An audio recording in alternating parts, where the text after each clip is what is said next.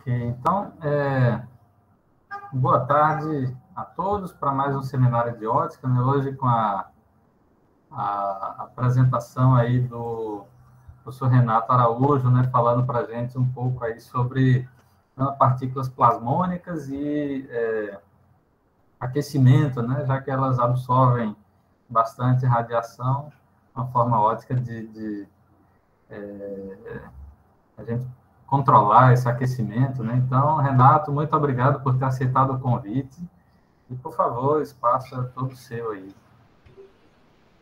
Ok, obrigado, Anderson, por me convidar.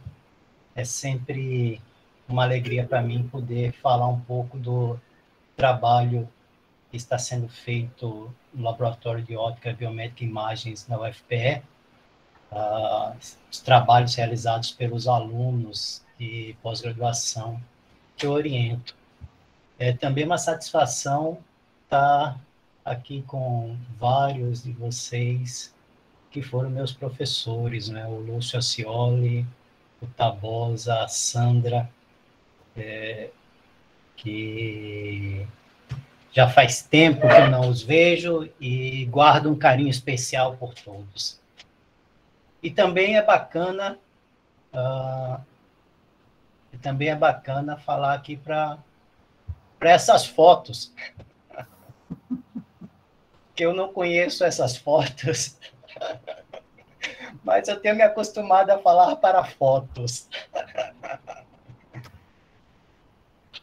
É, de qualquer forma, é, eu quando projetar minha, minha apresentação, meus slides, eu vou perder a imagem de vocês e nem foto eu vou ver. E dessa forma, sinta-se à vontade em me interromper com áudio. Também não estarei lendo é, as informações no chat.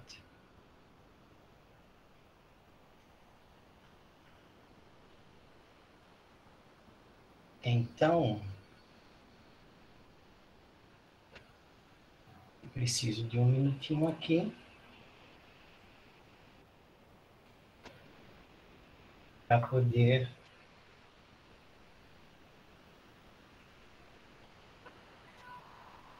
escolher minha tela. São tantas telas abertas.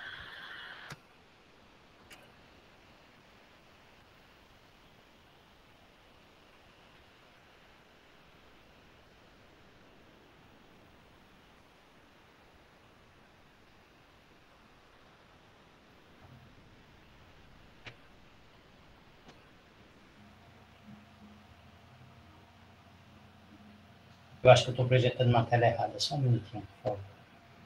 Está aparecendo toda a sua tela.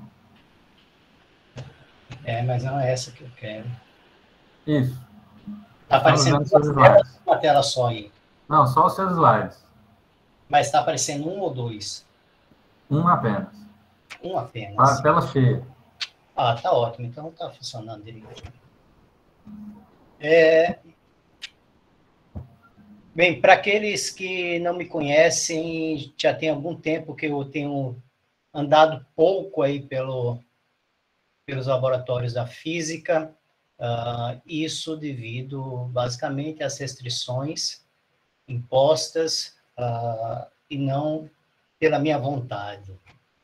É, eu vou, eu quero começar essa apresentação é, falando um pouco do laboratório que eu coordeno.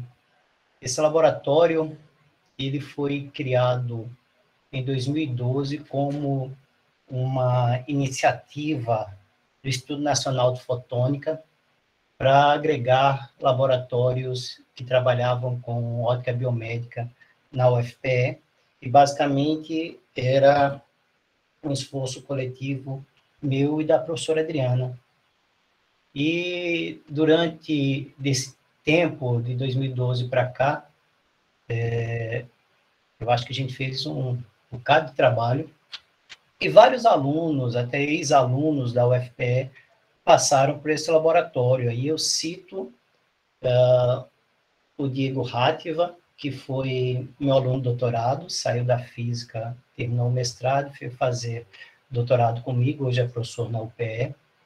Uh, mais recentemente, teve o Marcos Oliveira, que também fez o mestrado aí na ótica da física e posteriormente concluiu o doutorado comigo e hoje anda pela Califórnia. É, enfim, e nesse período de lá para cá, uh, nós trabalhamos em diferentes áreas associadas ao uso de ótica para o estudo de sistemas biológicos. E esse caminho envolveu o desenvolvimento de sistemas de imagem, uh, diferentes tipos de sistemas. Né? Nós desenvolvemos sistemas para uh, identificar ovo de mosquito da dengue, desenvolvemos essa figurinha aqui, uh, essa caixinha preta, basicamente ela lê uma, ela lia uma armadilha onde tinha os ovos do mosquito e contava automaticamente. Também, eh, pensando em imagens, eh, nós desenvolvemos um oftalmoscópio de varredura laser, como mostra essa figurinha aqui embaixo, onde basicamente você tem um laser de diodo, e esse laser é, percorre, é, é focalizado na região interna do olho, exatamente na retina, e essa imagem que vocês veem no canto esquerdo da tela, ela parece que, parece que é um monte de ruído, mas, na verdade, isso, isso é reflexão de estruturas do olho. Uh, dá pra, até para perceber uma linha, linhas escuras, que são as veias na retina. Também, em interação com a professora Adriana Fontes, é, aqui nós fizemos, uh, trabalhamos também com pinças óticas, uh, que basicamente é uma forma limpa de prender e analisar pequenas estruturas. O vídeo que vocês veem aí do lado direito da tela, ele basicamente mostra uma hemácia sendo arrastada e alongada. E, e olhando para esse alongamento da hemácia, dá para estimar, identificar é, elasticidade, parâmetros de elasticidade dessa estrutura. Também, uh, no laboratório, é, nós temos trabalhado com nanoestruturas, diferentes nanoestruturas, e quando eu falo de nanoestruturas, eu não estou limitado a partículas metálicas, mas também tivemos algum envolvimento com quantum dots, com nanocristais, enfim. Contudo, ah, da antes da pandemia, é, começamos a investir no laboratório um pouco mais em simulação, e que foi uma estratégia muito interessante e importante, uh, principalmente nesse período que o uso do laboratório ficou limitado. É, e baseado em simulações numéricas, uh, nós conseguimos estudar, entender, é, otimizar nanoestruturas pensando em diferentes aplicações. Então, na, nessa palestra de hoje, eu vou apresentar um pouco disso que nós fizemos nos últimos anos. Uh, e para tal, é, eu vou seguir esse roteiro. Na verdade, eu vou apresentar apenas parte do que nós fizemos. Então, as partes, uh, os trabalhos relacionados a processos térmicos em nanoestruturas plasmônicas. Uh, Para começar essa conversa, eu devo é, falar um pouquinho da interação luz-nanopartícula, que eu acho que é algo que a maioria de vocês já está bastante acostumada, e por isso eu vou falar pouco mesmo.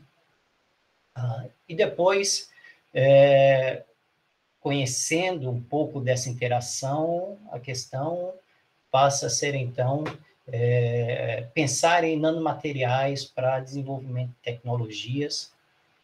E, basicamente, aqui eu quero falar de nanoaquecedores e como é que a gente otimiza nanoaquecedores. Quais são os parâmetros importantes para se ter uh, de alta performance para aplicações específicas?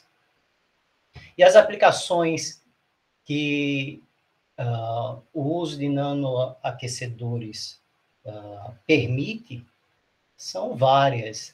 Aqui eu vou tratar de terapia fototérmica, uh, imagem fotoacústica e energia solar. Enfim, devo concluir. Não deve ser uma palestra longa, eu espero uh, fazer no horário antes das três horas, gente, eu ter concluído esse, essa apresentação. Fiquem à vontade de me parar uh, para fazer qualquer comentário. E assim eu começo com pensando no, nos problemas que o professor Lúcio, quando foi meu professor de eletromagnetismo da pós, colocava. E basicamente era olhar qual era a distribuição de um campo elétrico na presença de alguma esfé, partícula esférica. E o que o que vimos lá com o Lúcio é, é que essa interação, é claro, depende de não só de que onda é essa que está sendo que está incidindo, mas depende dos materiais envolvidos nesse problema. E aí eu faço um, eu chamo a atenção para as permissividades uh, que estão expostas nessa expressão uh, do campo externo à nanopartícula. Então, o campo externo à nanopartícula depende basicamente da permissividade do meio e, do, e da nanopartícula. O que a gente vê dessa expressão é que basicamente ela ela chega um, ela cresce se o denominador diminui. Então, o denominador, basicamente, é essa relação é, entre a permissividade elétrica é, do meio e a permissividade elétrica da nanopartícula. Vai haver um caso em que isso, essa relação é mínima.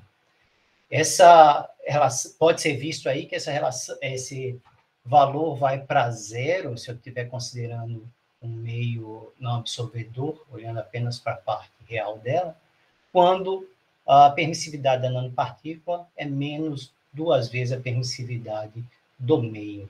Nesse caso, uh, os elétrons dessa nanoestrutura vão oscilar de uma forma coletiva acompanhando o campo elétrico. Esse fenômeno, como vários de vocês sabem, é chamado de Localized Surface Plasma Resonance. E é claro que, como ela depende da permissividade, uh, essa ressonância é diferente para diferentes tipos de materiais. Né? Uh, se eu olho, eu apresento aqui um espectro da permissividade, da parte real da permissividade, tanto para o ouro quanto para a prata, é, e ela tem essa cara. O ouro, a prata está em vermelho e o ouro está em azul. Se eu pensar que essas partículas estão no ar, por exemplo, pensar em uma permissividade do meio igual a 1, eu vejo que a ressonância vai acontecer na condição em que a permissividade desse material é menos 2. Isso acontece uh, ah, para a prata em torno de 350 nanômetros. Para o ouro, essa ressonância já é para acontece em comprimentos de onda um pouco mais afastados, já na região chegando perto do verde. O que que isso significa? Significa que quando se joga luz em alguma nanoestrutura metálica, é, a interação vai se tornar mais efetiva quando é, a gente estiver tratando de é, comprimentos de onda ressonantes com oscilação de, permitidas nesse nanopartícula. Esse graf, esse pequeno videozinho aí mostra é, uma nanopartícula de ouro sendo é, irradiada com, uma, com diferentes comprimentos de onda, e a gente percebe que existe um comprimento de onda onde esse campo externo torna-se mais efetivo. Bem, e nessa e completando essa introdução, é importante saber que essa ressonância, ela esse esse efeito de localização de plasmas ah, depende bastante de alguns parâmetros. E eu ressalto aqui três parâmetros importantes. Um é o material. Então, ressonância do ouro é diferente da ressonância de prata. Esses dois gráficos mostram é, seção de choque para o ouro, para uma nanosfera de ouro e para uma nanosfera de prata.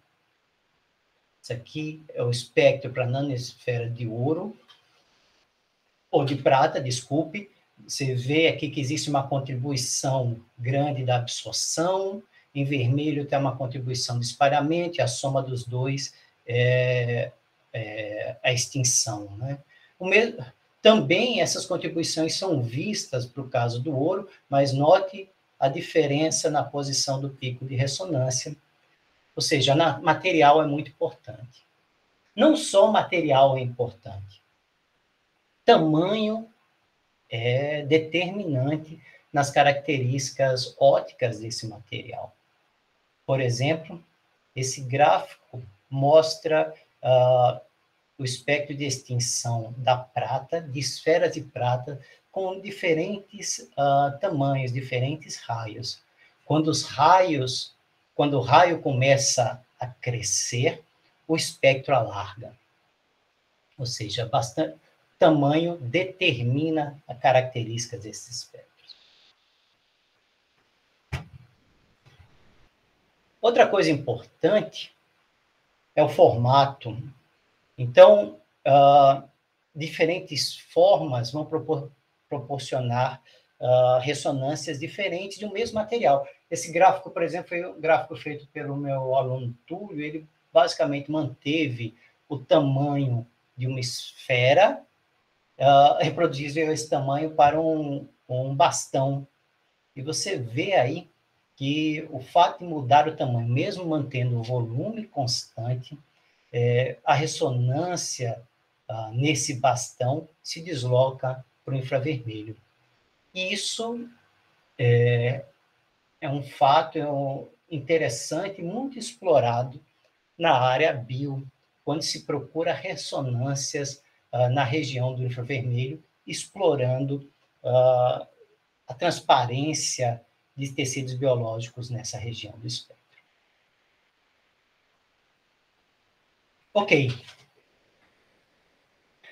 Então, considerando que a gente conhece uh, e consegue imaginar diferentes tipos de materiais, diferentes tipos de estruturas, uh, numa escala nano, a gente pode pensar o que fazer. O que fazer explorando o aumento de campo local e o deslocamento do pico uh, desse material.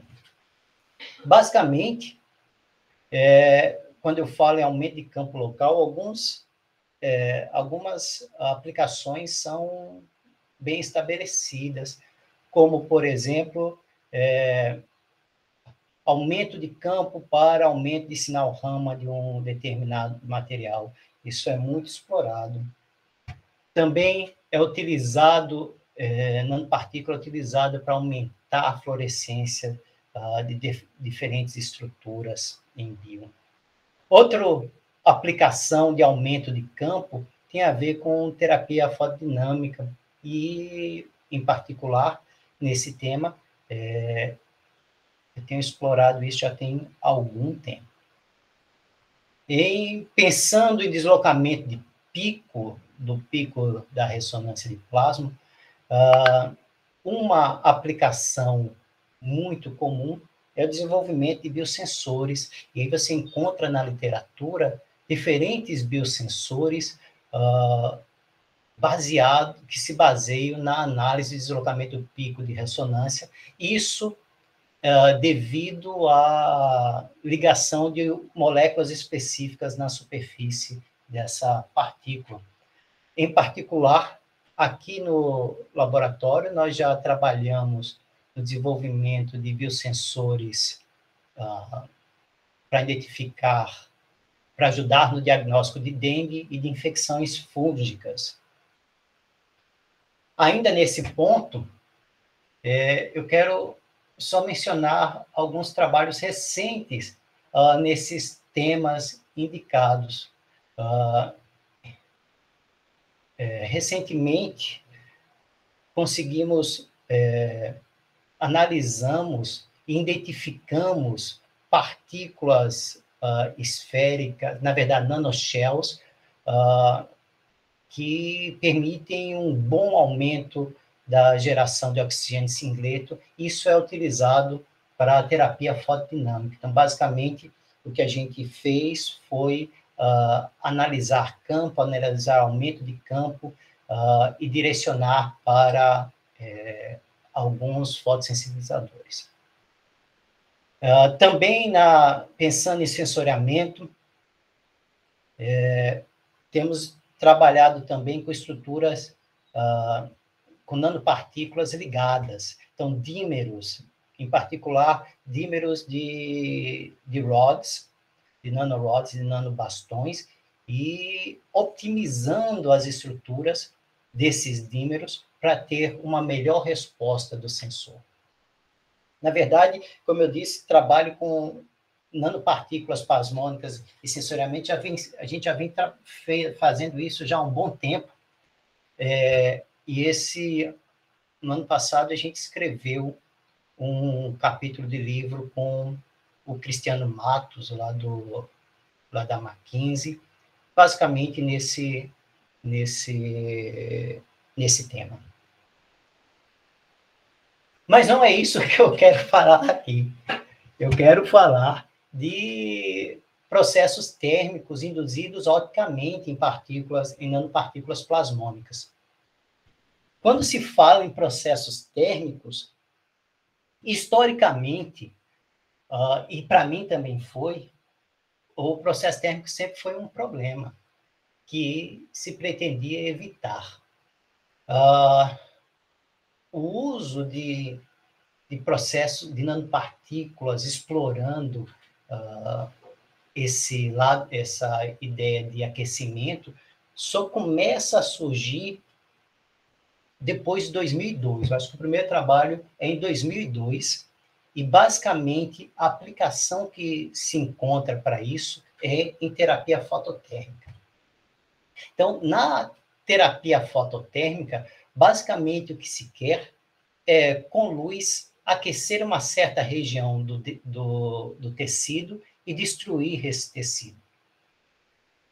É, quando se fala nesse tipo de aplicações, é, é importante sempre tentar trabalhar na região infravermelha do espectro, onde a absorção do tecido é reduzida. E aí existem duas janelas para se trabalhar. Uma é, entre 700 e 900 nanômetros e outra entre 1.000 e 1.300 nanômetros. Nesse caso, você precisa, para trabalhar assim, você precisa encontrar partículas que absorvam na região do infravermelho. Em processos fototérmicos, em terapia fototérmica, são explorados diferentes tipos de materiais que não têm que não necessariamente a absorção é máxima no infravermelho.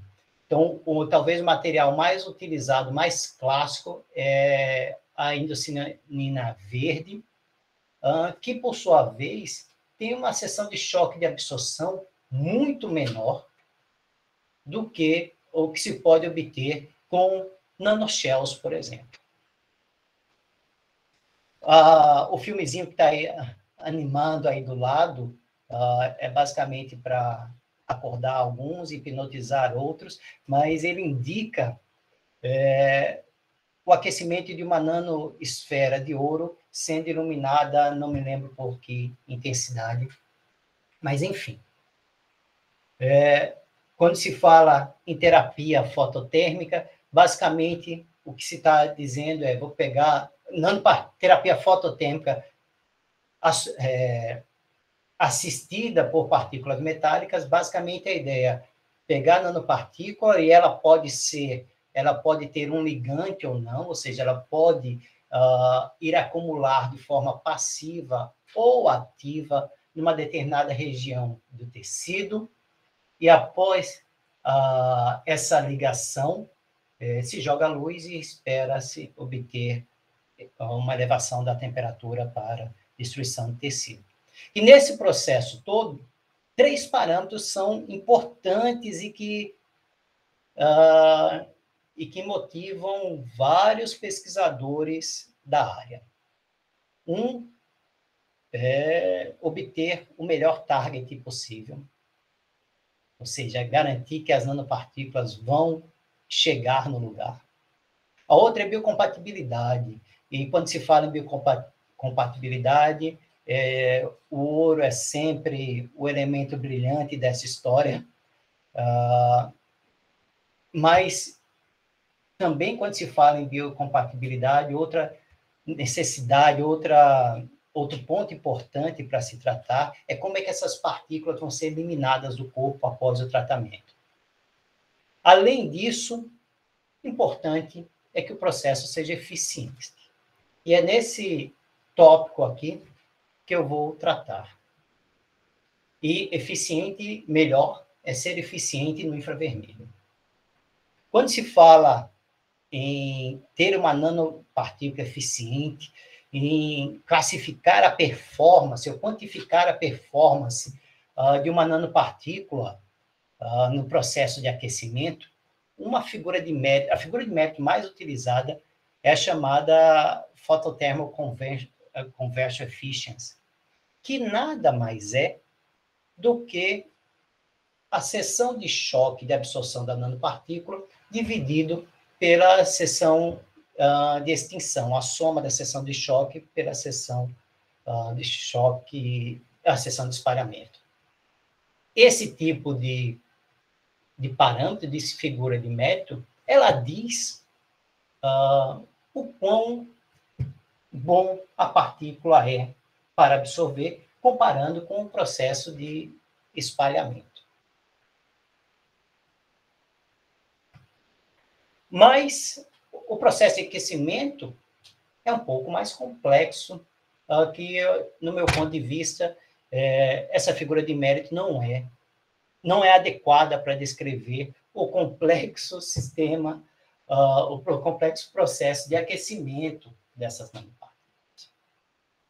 Uh, e quando eu falo no processo de aquecimento, é o aquecimento a partir da excitação ótica. E esse, essa excitação ótica, ela vem depois acompanhado de vários processos que tem um, que ocorrem em escalas de tempos diferentes.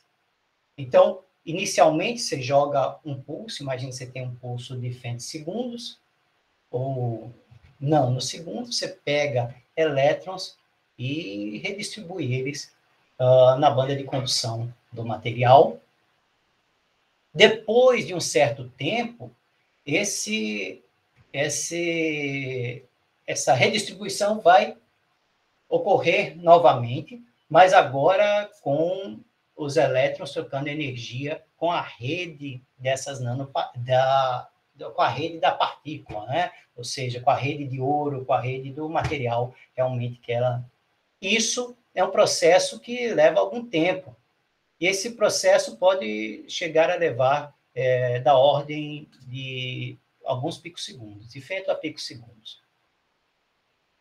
Em seguida, uh, o processo de termalização ocorre com a distribuição dessa energia térmica, com a dissipação dessa energia térmica para o meio. Que também é um processo que ocorre em outra escala de tempo, e aí a gente está falando de escalas de nanosegundos. Então, aquecer a partícula, é, uma partícula metálica, é, quando a gente fala aquecer, a gente tem que olhar para esses tempos e a forma de aquecer. Se você aquece com um laser CW, um laser nanosegundo, pico segundo até femto segundo, qual a dinâmica, o que, é que realmente vai estar acontecendo aí na estrutura. Vocês estão comigo aí ou eu estou falando sozinho aqui? Eu não estou vendo ninguém. Estamos presentes. Estamos aí. Estamos aqui, estamos aqui. Estamos aqui. Ok. É... Eu quero, então, olhar como é o processo de aquecimento utilizando um pulso curto. E quando eu coloco pulsos uh, de femtosegundo até poucos nanosegundos, eu posso considerar que esse processo uh, não envolve a transferência de energia para o meio.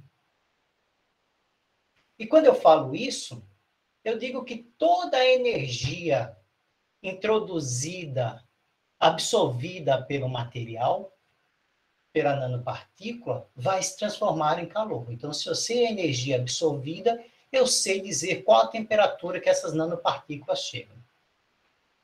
É claro que é, é, aqui é, eu estou considerando que tem uma partícula de um determinado material, com determinado volume, e que a, a energia absorvida depende, é claro, da potência incidente, e que, por sua vez, do quanto é que absorve, aí surge, então, uh, eu posso dizer que a, essa energia absorvida é proporcional à seção de choque de absorção. Note, então, que a seção de choque de absorção ela vai ser proporcional à temperatura. Oh, desculpa, a temperatura vai ser proporcional à seção de choque de absorção. E isso leva uh, vários autores na literatura procurarem nanopartículas com a maior seção de choque de absorção possível. Contudo, é, essa análise está limitada, né? Porque, na verdade, o aumento de temperatura ela é proporcional à seção de choque de absorção e o volume da nanopartícula. Então, não adianta você ter, quer aquecer uma nanopartícula, pega uma partícula grande que tem a seção de choque de absorção grande, mas o volume também é grande. Logo, a temperatura, as temperaturas alcançadas não são tão altas, ou seja, não é a melhor forma de aquecer. Em 2015, uh, que é um pesquisador francês, ele introduz uma nova figura de mérito, que é chamada de Joule Number. E o Joule Number, ele considera, então, que uh, o melhor aquecimento, a habilidade de transformar essa energia absorvida em calor, depende sim da absorção e do, e do volume da nanopartícula. Uma pergunta, Renato. Oi, Barbosa. É, deixa eu entender. Você está considerando que o seu sistema é a nanopartícula apenas? o, o, o ambiente, o meio onde essa nanopartícula se encontra não, não desempenha nenhum papel nesse, nesse processo? Ô, ô Tabosa, eu estou dizendo que eu estou esquentando tão rápido que ainda a energia não foi para o meio. Mas então, a energia vai, vai para onde, então? Nos primeiros poucos pouco nanosegundos, vai estar na nanopartícula e depois vai dissipar. Hum. Depois vai dissipar. Então, como você. Para onde é que vai essa energia? Ela dissipa no meio, sim. Uh, só para falar desse do dissipar, eu quero só completar a ideia aqui. Joule number, então, é um, uma boa figura de mérito para se tratar de aumento de temperatura em nanopartícula. E aí, se eu tenho uma nanopartícula num meio infinito, depois de alguns nanosegundos, essa energia vai ser uh, eu desliguei o laser, essa energia vai para o meio infinito. Aí sim, Tabosa, o meio é importante. Mas isso é depois que eu aqueci a nanopartícula. E é claro que para olhar essa, essa distribuição de energia no meio, eu tenho que ser um pouco mais rigoroso. Eu, eu passo a ser mais rigoroso, eu preciso ser mais rigoroso quando eu começo a aquecer de uma forma contínua, que é algo também comum em alguns processos de terapia fototérmica. Uh, mas aí, a minha consideração de que a energia está limitada uh, espacialmente na nanopartícula já não é mais válida. E eu tenho que passar, então, a, a resolver a equação uh, de calor e, e considerar essa propagação de energia, essa propagação de calor. Isso é feito, é, é considerado, uh, basicamente, o que se tem é que essa temperatura uh, no meio vai diminuindo com R à medida que se afasta da nanopartícula. Uh, enfim, eu posso olhar também para a temperatura máxima alcançada por essa nanopartícula, e nesse caso, considerando partículas esféricas, a, a temperatura máxima alcançada numa estação contínua de uma nanopartícula em um meio infinito é proporcional à seção de choque de absorção dividido pela área. Isso para uma partícula esférica. E, e que faz sentido, né? Então, eu quero... É, eu quero não só essa temperatura não só depende do coeficiente de absorção, mas depende da estrutura da nanopartícula. E se a partícula não for uma esfera, existe um, um caminho para se proceder. É considerar a, a partícula não esférica tendo um raio equivalente, ou seja, o volume dela, se eu pego o volume da partícula e, e transformo esse volume numa esfera, eu descubro o raio equivalente da partícula. E aí, a temperatura máxima alcançada por essa partícula depende desse raio equivalente, da seção de choque de absorção, do raio equivalente e de um fator de forma uh, que é diferente para as diferentes nanoestruturas. Esse. Renato, desculpa, Oi. só uma, uma, uma, dúvida aí.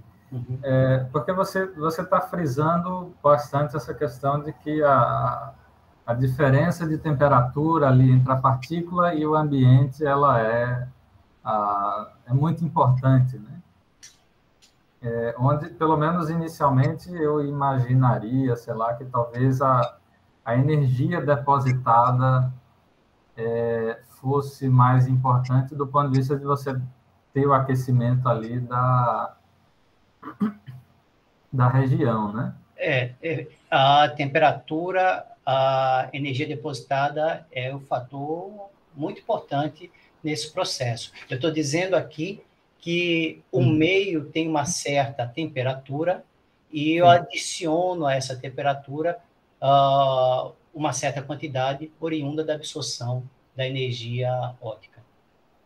Sim, sim, sim. Não, então, porque ah, do ponto de vista de, de, de aplicação, sei lá o que, faz é, aparentemente tem muita diferença, porque você mostrou ali temperaturas de pico, sei lá o que, que parece ser quase 200 graus, né, no slide anterior. É, isso depende, isso depende de vários parâmetros, né? Depende, Sim. por exemplo, qual a energia, qual tipo de pulso você está colocando.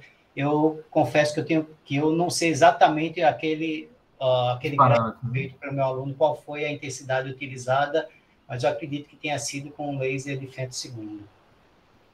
Mas, sim. Pode dizer, Tabosa. Não, é uma pergunta também nesse sentido. É, nesse seu modelo aí, você considera apenas uma nanopartícula e o meio, ou tem várias nanopartículas? Ótimo, Tabosa. Nesse modelo aqui, a gente considera uma única nanopartícula. É, porque senão fica difícil satisfazer essa condição de contorno, né? É, é mas o que mas a gente também trabalha com muitas nanopartículas. Eu não botei nesse seminário porque eu achei que eu não ia terminar o seminário, né? Uh, mas é interessante, você pega. É, se você coloca uma única nanopartícula, liga o laser e desliga, ele volta para a temperatura zero, porque o meio é infinito, você dissipou nesse meio. Quando você coloca as várias partículas no meio, mesmo que haja uma pequena, as, as ondas de calor vão se encontrar. E aí sim você tem um aumento que surge da contribuição de todas as partículas. Então, é, é isso mesmo, Tabosa. Aqui, aqui é um modelo para uma única partícula, uh, e a gente também trabalha com modelos para várias nanopartículas. Eu, eu vou falar só rapidamente, brevemente nisso. Mas antes, eu quero concluir essa ideia aqui. Então, se eu tenho um lei, se eu estou procurando uh, avaliar é, nanoestruturas plasmônicas uh, para terapia fototérmica, por exemplo, eu tenho que saber, olha, eu quero trabalhar com que regime de excitação?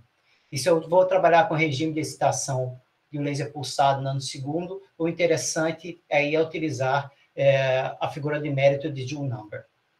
E é claro que quando eu olho para isso, eu falo, olha, sessão, depende da seção de choque, de absorção e depende do volume. Se eu pego, por exemplo, um nanorod e eu vou aumentando o tamanho do nanorod, eu vou aumentar a seção de choque de absorção. E eu vou aumentar também o volume. Como é que essas coisas crescem Uh, foi que foi uma pergunta feita aí para o Túlio, e o Túlio fez a seguinte análise. Ele pegou uh, rods com diferentes diâmetros e comprimento e olhou para o valor do Joule number para as diferentes configurações existentes. Quando se altera o tamanho da nanopartícula, você vai estar alterando também ou oposição da ressonância. Em particular, aqui ó, em azul, é a ressonância. Aqui são todos os pontos, indicam o tamanho das estruturas cuja ressonância é em 800 nanômetros. Em vermelho, indica o tamanho das partículas cuja ressonância é em 1064. E aí a gente vê que existe um tamanho ótimo para é, se ter o um melhor aquecimento, tanto para a excitação em 800, então, para 800, para eu conseguir a melhor, o melhor aquecimento, eu vou é, excitar com, eu vou ter que usar partículas de 40 por 10, cuja ressonância é em 800. É, eu podia usar outras partículas cuja ressonância em 800, mas não vai aquecer bastante. Então, até partículas maiores não aquecem bastante. E a mesma análise a gente fez para 1064. Então, existe uma partícula ideal para aquecer. Para aquecer tanto com, com uma estação pulsada, quanto para aquecer com uma estação CW. Quando vou aquecer com a estação CW, é, a gente descobre que essa nova, nesse nova figura de mérito que nós nomeamos de Steady State Factor, ela é, exige partículas de tamanhos diferentes. Enfim. Enfim. Uh, aquecer partícula, então o que a gente está dizendo aqui é que estou procurando a melhor forma de identificar a partícula, a melhor partícula para aquecer em diferentes condições. Uh, e esse aquecimento, em particular, se for feito com, com luz CW, você pode ter pequenos aumentos de temperaturas difíceis de medir. Recentemente, e até o Túlio mostrou uh, para vocês, quando a gente estava ainda iniciando esse trabalho, acho que antes da pandemia, o, um sistema baseado em espectroscopia de lente térmica para medir temperatura uh, induzida em coloides. Não só medir a temperatura, mas também a gente consegue determinar uh, de forma absoluta a seção de choque de absorção dessas nanopartículas. Eu não vou entrar em detalhes nesse sistema. Uh, isso tudo falou, eu acho que há uns dois anos atrás para vocês, e os resultados foram publicados no ano passado. Eu quero continuar essa ideia de dizer, olha, nós sabemos aquecer nanopartícula da melhor forma possível. E, a, e o que, é que eu faço com isso? Existem alguns caminhos que nós, aqui no laboratório, temos pensado. Né? Então, é explorar é, esse conhecimento em terapia fototérmica. É, eu não vou mostrar mais exemplos do que a gente tem feito. Na verdade, a parte experimental nossa está parada por vários motivos, desde pandemia até equipamento quebrado. Uh, eu quero mostrar para vocês uh, uma aplicação que pode ser em imagem fotoacústica e também em coleção de energia solar. Vou tentar ser um pouco mais rápido para não passar do meu horário. Eu vou passar um pouquinho disso. O uso de nanopartículas plasmônicas para terapia fotoacústica já é conhecido. É, o Anderson tem trabalhado com terapia fotoacústica, então não vou entrar em detalhes nessa técnica. Basicamente, é, o que se faz é esquentar com um laser modulado e observar a geração de uma onda acústica emitida no tecido. E esse processo, ele depende da temperatura alcançada pelo, pela região aquecida, pela estrutura aquecida. Ela depende não só da temperatura, mas também depende uh, de como é que esse, como é que a densidade do meio muda com a temperatura, que também isso deve ser levado em conta quando se faz uma análise uh, mais cuidadosa do processo da geração de, do sinal fotoacústico.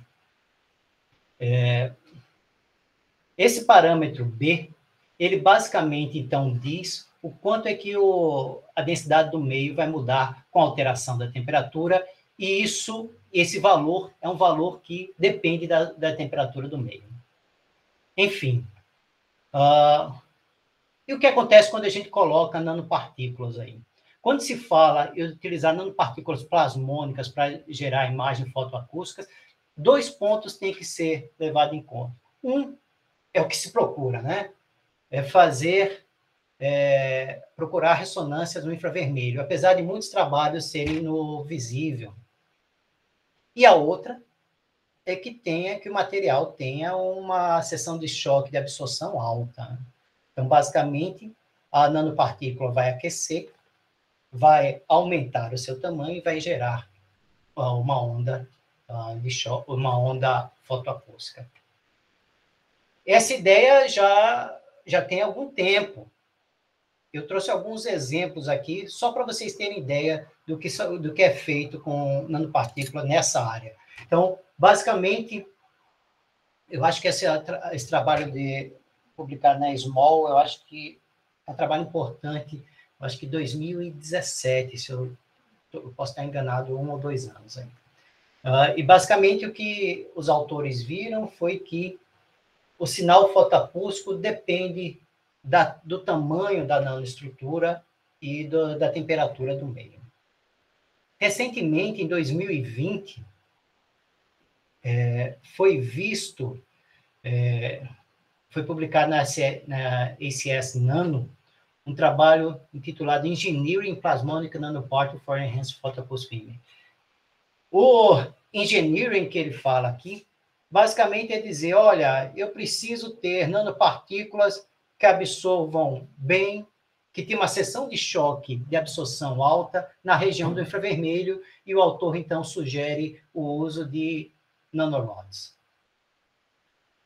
É, eu acho que em 2019 tem outro trabalho interessante uh, que mostra que o que se pode fazer para alcançar é, um resultado interessante no, utilizando é, fotoacústica na, na região do infravermelho é explorar aglomeração de partículas uh, como agente marcador para a técnica fotoacústica. E o que os autores viram foi que se você aumenta, o, se você permite aglomeração em determinada região, você vai ter um aumento da largura do espectro e logo seu sinal fotoacústico é amplificado. Ou seja, ainda tem muito espaço aí para trabalhar e basicamente fazendo. Renato, desculpa, essa aglomeração. Aí. Oi.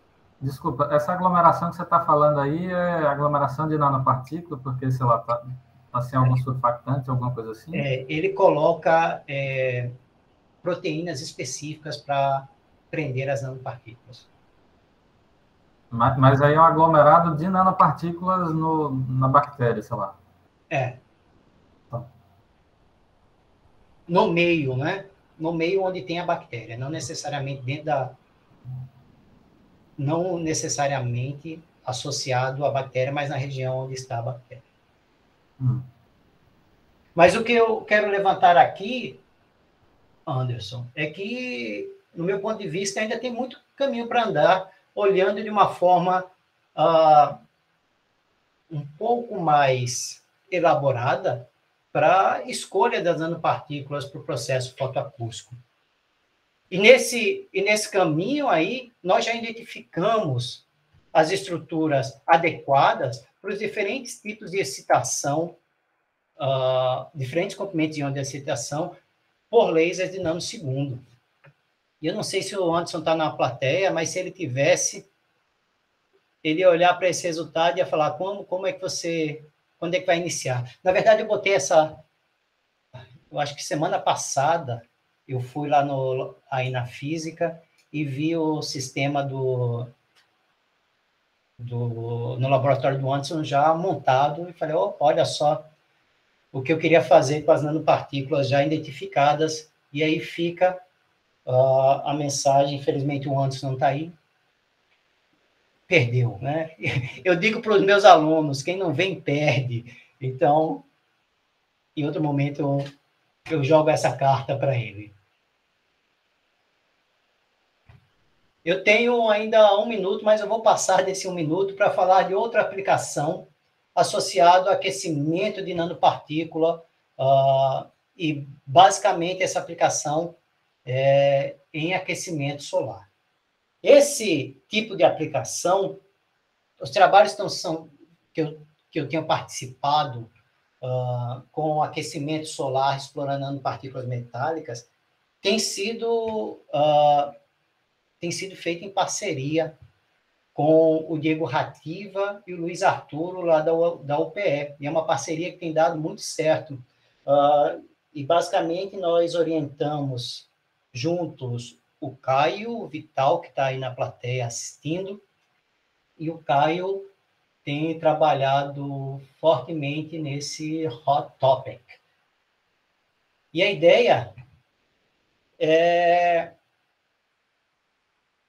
A ideia vem do fato de que uh, muito da energia utilizada por nós, sociedade, tem uh, é, utiliz... é basicamente explorada para aquecimento.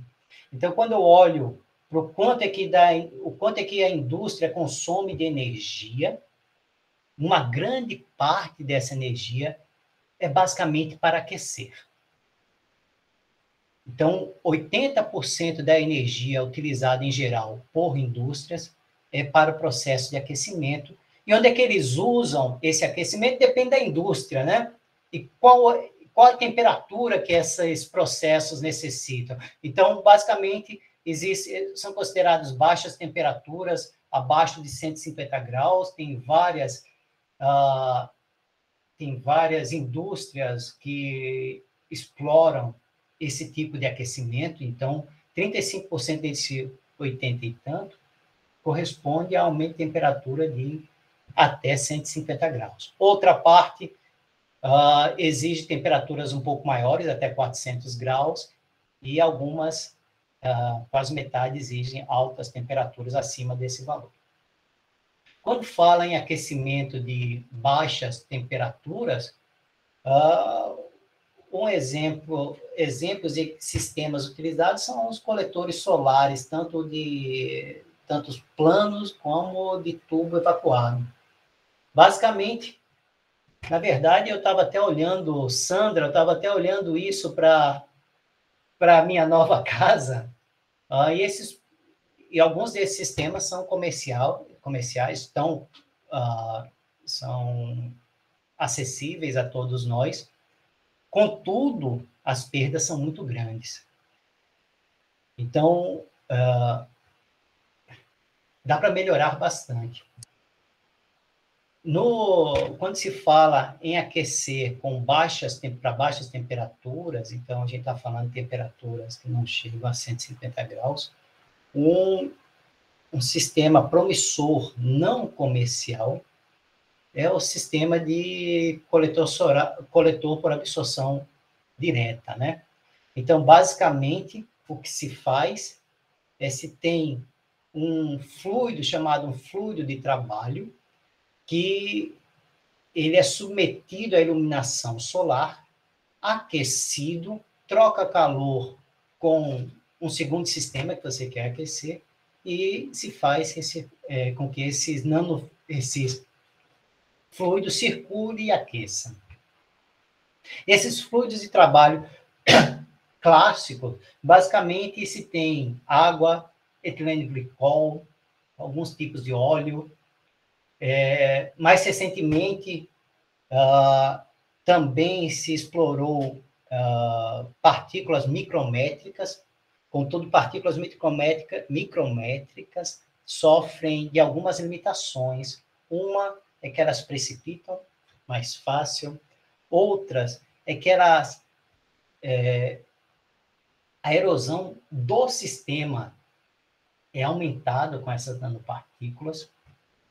Existe alteração é, significativa da viscosidade do meio, o que faz com que exija um aumento da pressão do sistema. Então, uma saída dessa desse para esse sistema é o uso de nanofluidos. Então, nanofluidos basicamente são uh, colóides de diferentes materiais em, em meios de bases desse, desse fluido de trabalho, que pode ser água, etileno glicol, enfim, muito utilizado água. E existem várias partículas já exploradas nesse, nessa linha, que vai de prata, óxido de zinco, então existem metais, existem óxidos, enfim. Já existe um bom, uma boa quantidade de material, nanomaterial explorado nessa área. Contudo, como é que se escolhe o material, um bom material para o nanofluido? Um bom material para o nanofluido é aquele que consiga absorver bastante da radiação solar. E quando eu falo bastante da radiação solar, não precisa ser apenas a região visível, região visível e infravermelha. Então, o que se quer é partículas que absorvam num espectro largo e com é, bastante eficiência. Uma maneira de avaliar essa eficiência é olhando para o que a gente chama de Solar Weighted Absorption Coefficient, que nada mais é do que pegar o espectro de absorção solar e ver o quanto foi absorvido. Quando se faz isso, a gente tem, então, que olhar para o espectro de absorção da nanopartícula. E nós estamos trabalhando nisso, escolhendo diferentes nanopartículas. É, recentemente, nós olhamos para nanocascas de ouro dopadas com ferro. O interessante é quando a gente pega nanopartícula metálica de ouro e dopa com um pouquinho de ferro, ó, 5% de ferro, o espectro saiu desse preto para esse verde. 15%, 10% de ferro está aqui no azul. Ou seja, se a gente dopa o ouro com um pouquinho de ferro, o sistema passa a absorver um espectro relativamente grande, uh, com uma seção de choque uh, de absorção razoável. E aí. Renato, uh, desculpa. É, mas isso aí, o ferro ele entra com uma liga metálica com ouro, né? Na casca é, eu não entendi muito bem. Não, ele está dopado no meio do ouro, não é casca. Então, são partículas de ferro próximas da, da, casca de ouro, alguma coisa assim? No ouro. Eu não entendi a... No ouro. No ouro. É ouro com ferro, com partículas menores de ferro dentro do ouro. Ah, tá, entendi. entendi. Então, o que, é que a gente faz? A gente observa o quanto é desse espectro que foi absorvido e olhamos, então, é, procuramos estruturas que sejam, que cubram bastante o espectro solar. E é claro que quando eu olho para essa figura de mérito, e hoje eu estou falando de figura de méritos, então eu falei de diferentes figuras de mérito, é importante notar que essa figura de mérito depende não só da seção de choque de absorção do material, mas também depende da concentração desse coloide e da espessura desse coletor, espessura uh, apropriada para o nanofluido. E aí o Caio Vital, ele olha para tudo isso para as diferentes estruturas e consegue determinar esse uh, o valor, quantificar esse é, essa figura de mérito para diferentes condições, diferentes materiais, diferentes tamanhos de coletores, uh, enfim, procurando sempre o melhor possível. Por que o melhor possível? Porque um dos limitantes desse sistema é, é que a quantidade de nanopartícula, nanopartícula de ouro custa caro. Então, a gente quer diminuir o máximo possível a quantidade de partículas. Esses parâmetros óticos identificados aqui não são os, para, os únicos parâmetros para determinar ah, um bom um sistema eficiente, né? Então, Uh, eu não vou entrar em detalhes aqui também, mas o Caio, o que ele faz. Renato, desculpa Oi. interromper. Claro. É, o HI, então, é a espessura daquela da, da região onde está circulando o Essa fluido. Espessura é aqui, isso? Ó. Essa espessura. É. Então você quer uma espessura grande. Não, se eu usar uma espessura grande, eu vou estar tá gastando muito material. Ah, Tá ok. Você quer otimizar ela, ou seja, tá bom, tá ok. Tá ok, tá ok. Tá ok? Então, Lúcio, aqui, então já há algum tempo, aqui na engenharia, eu tenho pensado em otimizações, né? Então, é, como é que eu faço é, o sistema ter a melhor performance? E o Caio. É, Renato? Oi. Aqui é o seu xará, Renato, tudo bom? Tudo bom, Renato? É, no slide anterior tem as porcentagens de ferro e de ouro, né? Mas é, qual é o, o, diâmetro dessas nanopartículas? Eita, Renato, eu acho que o diâmetro é 80 nanômetros de casca e de thickness 10, não tenho certeza. Ah, você poderia Não. ir para o slide anterior, o outro ainda? Esse aqui. Isso. Porque eu estou vendo que você está com a extinção aí em 750 nanômetros, né? É. E tem que usar aí essa é, ferro e ouro, né? É. Só que a gente sabe sintetizar nanocascas de ouro, né? Uhum. Só com a espessura lá, é, caroço de sílica e a casca de ouro que já vai aqui uhum. em 700 nanômetros, né, a, uhum. a extinção, né? Uhum.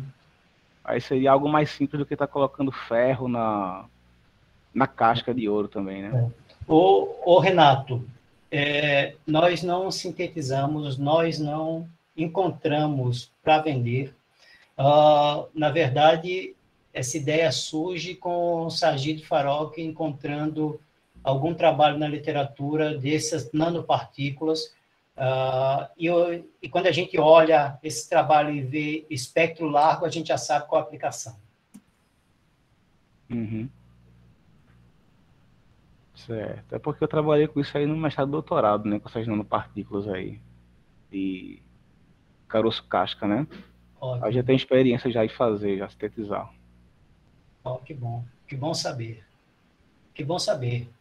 É... Que bom saber, pois muitos desses trabalhos nós ainda, principalmente nesse período da pandemia, estamos basicamente é, sem o apoio experimental, né? Ah, e que, como as ideias são bacanas, então elas ainda têm, a gente consegue boas publicações uh, baseado no, na proposta, não na demonstração instrumental do efeito.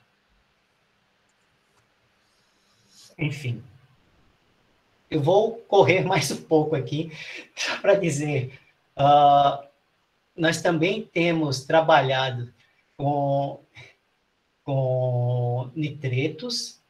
Uh, basicamente, a ideia também surge, como essas ideias têm surgido, é basicamente olhando para o que tem na literatura, a gente encontra partículas com que indicam, com um espectro largo de absorção, que indicam uh, essa possibilidade de uso para, para a coleção solar, para nanofluidos, e exploramos uh, baseado nessa nesse nessa ideia do que a gente está vendo de possibilidades de partículas que existem, né? Uh, nesse caso dos nitretos, uh, nós tivemos acesso a partículas esféricas de titânio nitride e avaliamos o aquecimento dessas partículas utilizando um simulador solar existente na UPE, no laboratório do Luiz Arturo Camilo. Por fim, é, por onde é que a gente está andando ainda, né? Um, uma proposta que se vê na literatura, e essa, essa ideia surgiu com o Diego e que o Caio Vital, que é aluno aqui do, da eletrônica, está implementando, é, por que, é que a gente precisa utilizar uma única nanopartícula? Basicamente, a razão é simples, porque o sistema fica mais barato, né? Uh, mas a gente podia utilizar partículas de tamanhos diferentes, estruturas diferentes, para ter uma melhor ocupação uh, dessa região abaixo do espectro solar. Isso já foi feito, isso já foi demonstrado. Agora, é, só que a gente está em um processo de otimizar esse conjunto, esse blend, uh, para obter melhores, é, melhor eficiência. Essa otimização é, aí está sendo direcionada principalmente pelo Diego e a mão na massa do, do Caio, que é aluno doutorado. E achando resultados bacana, onde o sistema dele consegue identificar qual é a melhor mistura para dar o melhor, é, o melhor nanofluido para a coleção. Bem, falei um bocado, né? É, mas, enfim, eu só falei parte, viu, pessoal? Porque na parte de energia solar, ainda tem o Olavo que está assistindo aí a, a palestra, e ele está trabalhando com uso de nanopartículas metálicas em célula solar orgânica para aumentar a eficiência dos módulos orgânicos. Mas nesse caso, não é uma partícula absorvedora, e sim partículas que espalhem de forma eficiente a radiação para dentro do, da célula solar. Eu vou terminar essa história aqui para poder olhar novamente para as fotos já que as fotos não, não emitiram som, eu vou olhar novamente para as fotos e vou concluir que é, o laboratório tem explorado já então há um bom tempo é, diferentes nanopartículas. Uh, basicamente partículas plasmônicas uh, e pensando em aplicações. Uh, e aplicações estão na área médica, né? tanto na, em terapia como no diagnóstico. E mais recentemente, uh, nessa parceria que está dando muito bem com o pessoal do OPE, olhando para energia solar. É claro que isso ainda é só parte do, do que está acontecendo. É, a gente tem interesse também em trabalhar com nanoqueijos, então Caio já tem os resultados uh, para aquecimento solar com nanoqueijos, que tem um espectro muito grande, muito é, é, um espectro bastante largo, e também tem uma seção de choque de absorção grande, o que, o que empolgou a gente para analisar esse tipo de estruturas. Uh, partículas ocas também tem sido um direcionamento que tem me motivado, isso pensando em aplicações em terapias médicas, terapias óticas, uh, basicamente como é que a gente pode eliminar as, as nanopartículas depois que elas estarem, estiverem no corpo, né? Uh, e partícula oca é, pelo meu entendimento, acredito que ela pode ser facilmente destruída. Então, isso a gente vai testar ainda, faz parte da tese de doutorado do Túlio. E estamos apostando também em óxido de zinco com o trabalho de doutorado do Caio, ou do Olavo, associado à célula solar orgânica. Não só a célula solar orgânica, mas também óxido de zinco, nanopartículas de óxido de zinco, é o ela está entre as nanopartículas mais produzidas no mundo. Então, tem várias aplicações para óxido de zinco, como, por exemplo, protetor solar. E existem vários, alguns problemas, uh, por exemplo, na área de prote proteção, protetor solar e proteger pele, associado com a eficiência do, do óxido de zinco, e que eu tenho pensado também. Mas, enfim, falei demais. É, eu agradeço a atenção. Deixo aí a foto e agradecimento à turma que realmente tem pensado em todas essas ideias. Uh, a Gabi está aí na foto, ela não, no resultado dela não está aparecendo, mas ela é, a ideia é trabalhar com terapia fototérmica e a Gabi vai ser a aluna que está tratando disso. Anderson, eu terminei aqui. Renato, muito obrigado aí pela excelente apresentação. É, e agora eu vou abrir espaço para mais perguntas. Lúcio. Professor Lúcio. Oi, Renato. É, eu vou pedir desculpas, porque eu, enquanto estava vendo a sua palestra, me veio uma ideia um pouco distante, mas, então, mas foi inspirada. Veja, é, uma das coisas que eu vejo, é, é, um material que parece bastante interessante do ponto de vista de como para a célula fotovoltaica, então estava há um tempo atrás, é o silício negro, né? Esse silício amorfo que tem uma absorção enorme, banda larga para burro, e parece que funciona bem.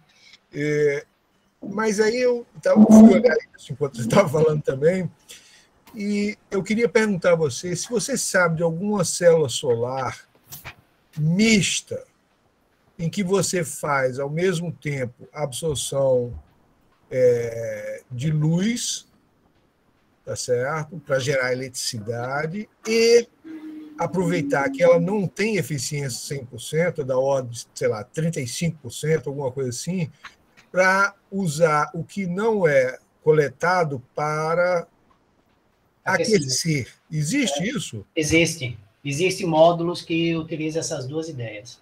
Ao, sub, as duas ao mesmo tempo, não é As duas ao mesmo tempo. As duas ao mesmo tempo. Tá legal. É, tá legal. Eu, bem, a história da célula solar tem pouco tempo que eu estou olhando para isso, uh, estudando diferente, olhando para diferentes materiais e possibilidades, né? Então, uma possibilidade, o Olavo aí, se eu, eu acho que ele está por aí, é, e que o Olavo tem apontado, é ir na direção de explorar nanopartículas, é, nanopartículas de óxido de zinco em células de perovskita, que apesar da eficiência da perovskita ser baixa, quando a gente olha a derivada no tempo do crescimento de eficiência de diferentes modos, a derivada da perovskita é grande.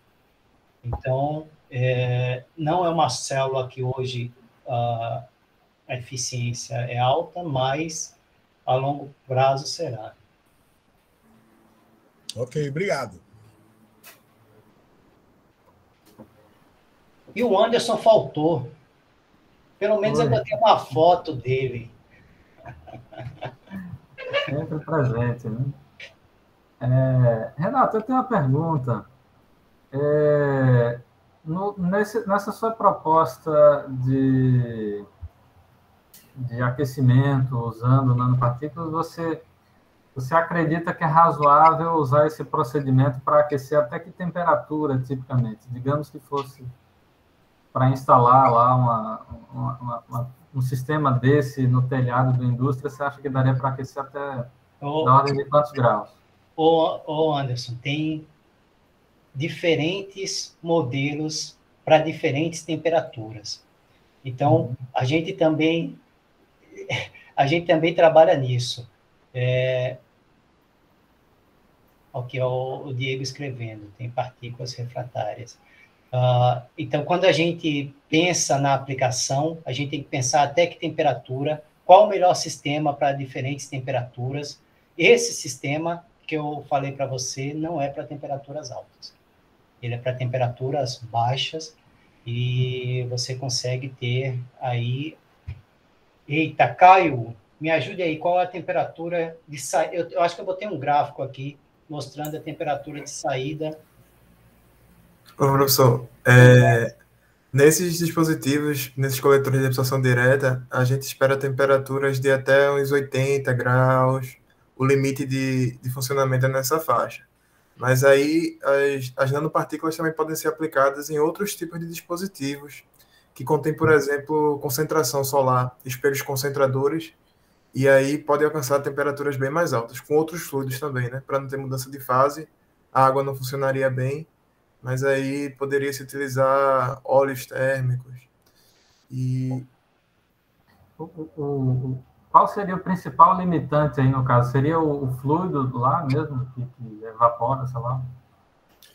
É, é, também fica relacionado às perdas térmicas, porque quando a gente vai aumentando a temperatura, a perda é por convecção térmica, então ela é proporcional à, à diferença de temperatura entre o nanofluido e o ambiente. Então, quando chega em determinada temperatura vai haver uma estagnação, né? Então, no caso desse dispositivo, pela geometria dele, por todas as características, a temperatura de estagnação é nessa faixa de 80 graus, mais ou menos.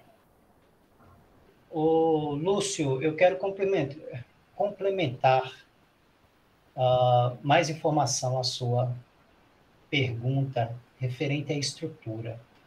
Um dos limitantes desse, dessa ideia é a quantidade e o custo do nanofluido.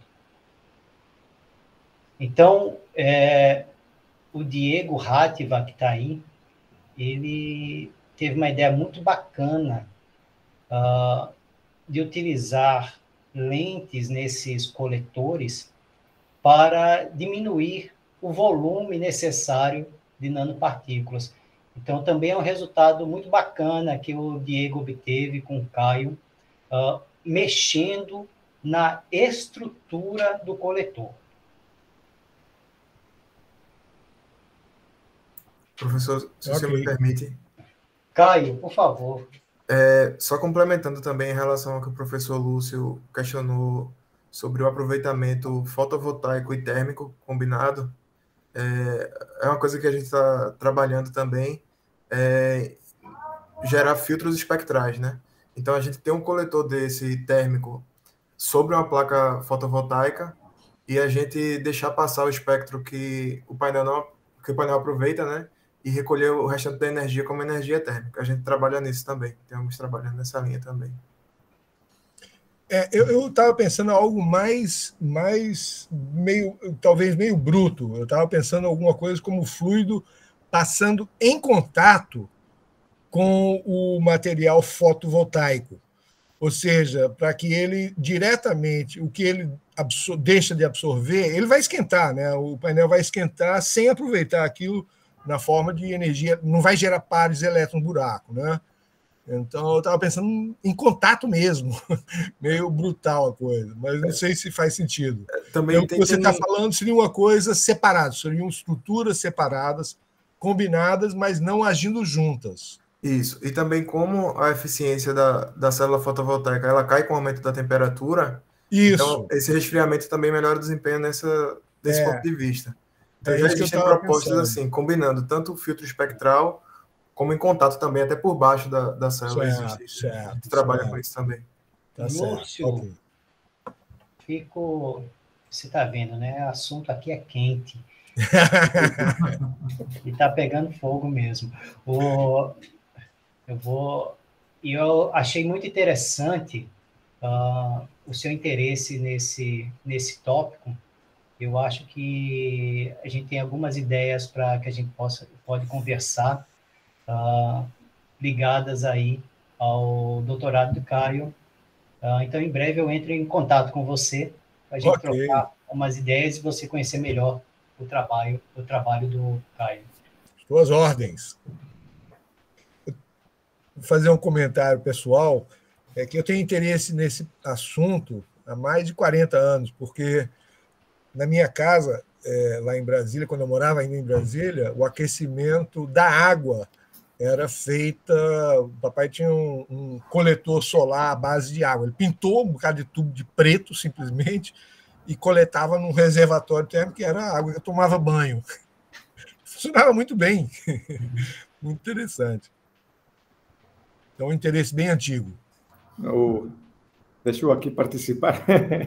Y, profesor Lucio, más interesante que esa tecnología no mudó, o sea, eh, todo mundo que trabaja con óptica, ingeniería óptica, siempre va puxada para área fotovoltaica.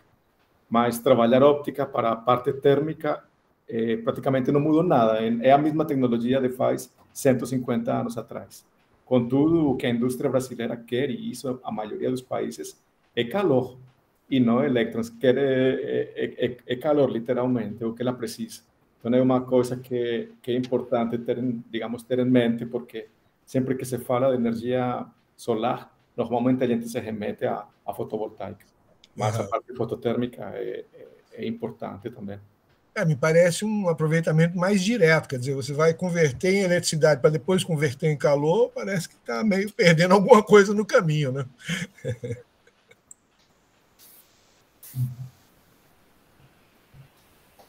Ok. É, Ótimo. Bem, temos mais alguma pergunta aí na, na audiência? Vamos aqui, acho que não. É, então, Renato, Queria agradecer mais uma vez também aí os, a sua apresentação, os comentários do Caio, do Diego. Foi realmente muito, muito boa, muito proveitosa. E queria desejar aí uma boa tarde a todos. Uma salva de palmas. Ótimo. Boa palestra. Agradeço aí, então, a, a, a disponibilidade de todos para ouvir esse, essa uma hora de conversa. Até a próxima a todos e boa semana. Até a próxima. Boa tarde. Boa tarde.